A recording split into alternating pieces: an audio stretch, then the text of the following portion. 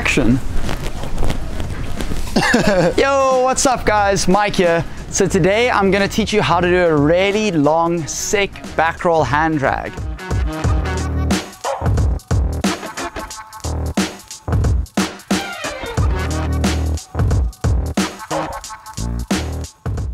This is an advanced tutorial. If you can't do a back roll hand drag yet, then I recommend you watch these videos from Steven and Kitesurf College. So a lot of guys are doing their back roll hand drag like this. The problem with their back roll hand drag is it's either really short or as soon as they get into strong wind, this happens.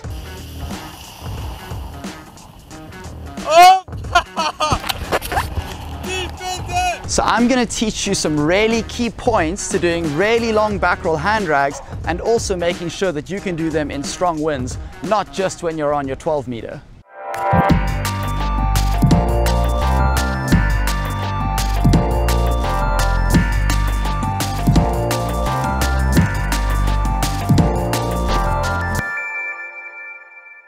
So what do you think about my new Stinger video? Guys, at the end of the day, I make these videos for you. So I want you to let me know if you like it, if you don't like it, and let me know in the comments. Thanks. Point number one, when you go into your back roll hand drag, don't do a full rotation. Oh! Only do half of the back roll. You need to be comfortable sliding backwards for as long as possible. So you carve into the back roll and then when you're going backwards, you don't stop rotating, but you rotate very slowly from this point onwards. Point number two, the earlier you pull the loop, the more aggressive the loop will be. So your goal is to drag that slide out for as long as possible and that kite is gonna lose power as you slide longer. And then eventually when you do pull that loop, it's not gonna be super aggressive and yank you around into another rotation and you will have done a longer slide. So what you want to do is glide for as long as possible. Move your hand closer towards the middle of the bar Don't leave it on the outside. And from this position, you're able to still pull that bar in to give you the lift you need to stay above the water and you're not automatically going to be pulling the kite into a loop too early. Make sure you stick around to the end where I analyze some of the clips that you guys sent to me. So another point that I pointed out in my how to do massive dark slides video, and this applies to all slides, is picture this being 12 o'clock. This is the direction in which I'm riding. I ride this way, I start to my back roll hand drag. As soon as the kite is past 12 o'clock, once it's on this side, the, you're pretty much forced to pull the loop soon after finishing the maneuver. So you want to keep that kite forward or above you for as long as possible whilst you're sliding. Wait really long to run out of that kite power and line tension. And then way later, then you want to pull that loop. So make sure you leave that kite forward in front of you or above you. The last point, when you feel like you're getting closer to the water or you're running out of lift from the kite, that's when you really start to crank that loop. And at this point, you're backwards. Say I'm over here.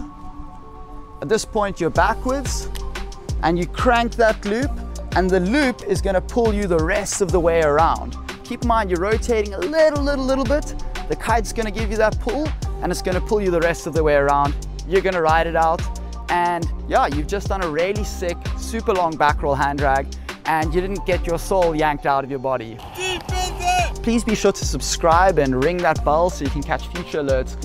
To sum it up, half a back roll, keep that hand in the middle of the bar, pulling that bar in to give you lift and rotate very slowly as you're sliding and try and draw that slide out as long as possible, leaving the kite forward in front of you. Don't let it pass you too soon.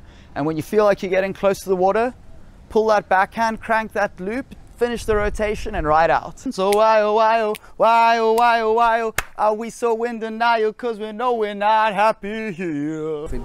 Thank you bro. How's it going Sam? How are you bro? Woo! So I put something out on Instagram asking a few guys to send me clips of their back roll hand drags. And these aren't their best back roll hand drags, but they're ones that they thought and I thought we could like all learn something from.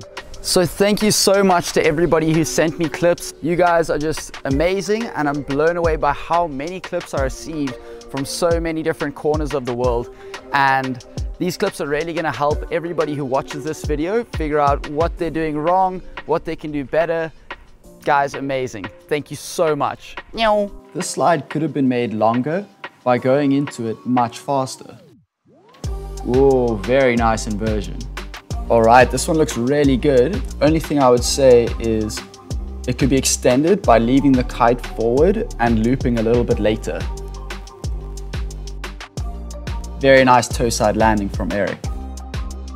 Whoops, stop looping there. You gotta keep pulling that loop. Very nice submission from Tor. Notice how he's only doing half the rotation.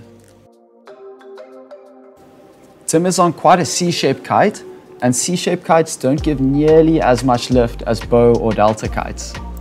Cool submission from Stig, showing how you can practice this trick without the loop, so you're not introducing as much risk into it, and you can still practice all the other things we spoke about. Boom, very steezy inversion. Not really much edging or speed into that and a little bit too much rotation. Remember, only do half the back roll. Looking good from Ray. Okay, rotating too much and then pulling the loop. Well, that works just fine, but if you use the same technique in strong wind, that loop is gonna yank you and pull you out of control. Looking good, and there it is. Slowing that rotation down, really good job. Pretty much everything is perfect with this slide. I think it could have been made longer by leaving the kite forward a bit longer, but other than that, pretty sick. You can see this one would benefit from having a little bit more speed on approach.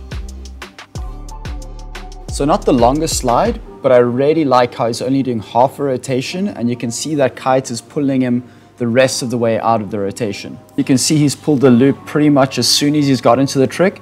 So remember, you gotta wait to pull that loop A lot of power. Check that spray coming off my edge. Looking solid, going in fast, dragging far. Pulling that loop a little bit early. You can see I get pulled into the air. If I could have kept that kite forward a bit longer, I would have slid longer. Ooh, nice. Landing blind from Jesse Bignon France. Boom, blind landing. Very cool way to spice up this trick. Be sure to check out my next video. I'm putting out a few good ones. One of them is how to do the kite loop board off. Pretty crazy trick. And another one, how to do the boogie loop. Coming out soon. Meow.